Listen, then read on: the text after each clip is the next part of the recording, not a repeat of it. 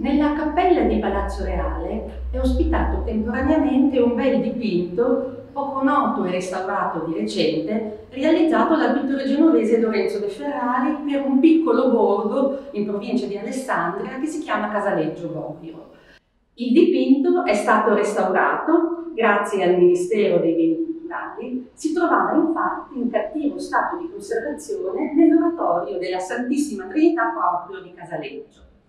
Il dipinto è un importante prodotto del tardo barocco genovese e raffigura la Vergine Assunta, la Santissima Trinità con i santi Leone, Magno e Martino. All'interno di questa unica immagine sono riassunti secoli di devozione a Casaleggio Boiro. San Martino, titolare della parrocchiale, emerge dal fondo nell'atto di dividere il mantello con il povero.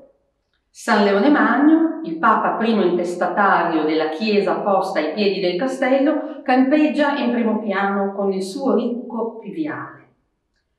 La Vergine Assunta, titolare dell'antico latorio, è accolta nella gloria dei cieli dalla Santissima Trinità, alla quale l'oratorio era stato intitolato a partire dal 1701. L'opera, datata 1714, diventa un punto fermo della prima attività di Lorenzo De Ferrari. Il dipinto rappresenta infatti un momento in cui il pittore guarda ancora al linguaggio barocco di suo padre, Gregorio De Ferrari. Lo dimostrano il taglio compositivo strutturato in diagonale, il legarsi continuo delle figure, secondo quella linea curva con cui l'artista suggeriva uno spazio libero e illimitato.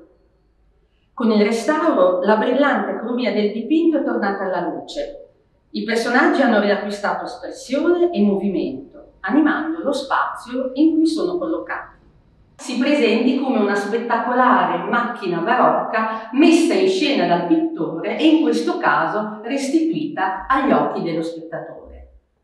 Non è un caso che abbiamo deciso di ospitare, dopo il restauro, il dipinto qui nella cappella di Palazzo Reale, proprio perché nella galleria della cappella, più attigua, Lorenzo De Ferrari, vent'anni dopo la realizzazione del dipinto di Casaleggio, interverrà con dei dipinti a monocromo realizzati per la famiglia Durazzo che ancora si possono vedere all'interno dell'ambiente.